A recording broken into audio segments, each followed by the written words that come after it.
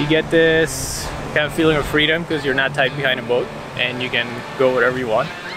And there is lots of things that you can do, like lots of different types of uh, riding. So you can do, you can just cruise around if you're beginning and just enjoy being on the water.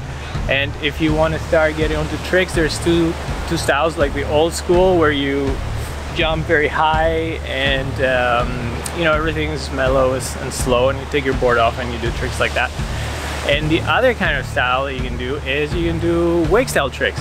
Just the, the, the amount of tricks that you can do and how you can improvise and, and enjoy the water and the weather like that is just incredible.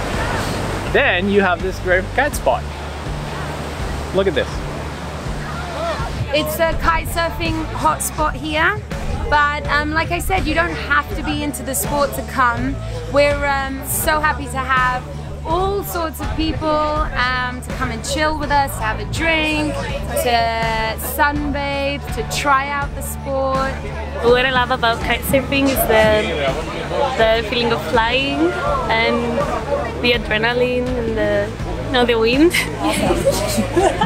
she will become brave. Yeah, when are you starting?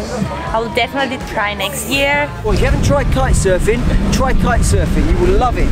We're a family business. It's myself, my husband, and my two children. We're 10 years into the business now. So, yeah, come and find us. Any ages, any fitness level. We've got something for you to try out or to actually get into the sport. Um, but yeah, you're always welcome. Kite surfing, freedom, flying, power.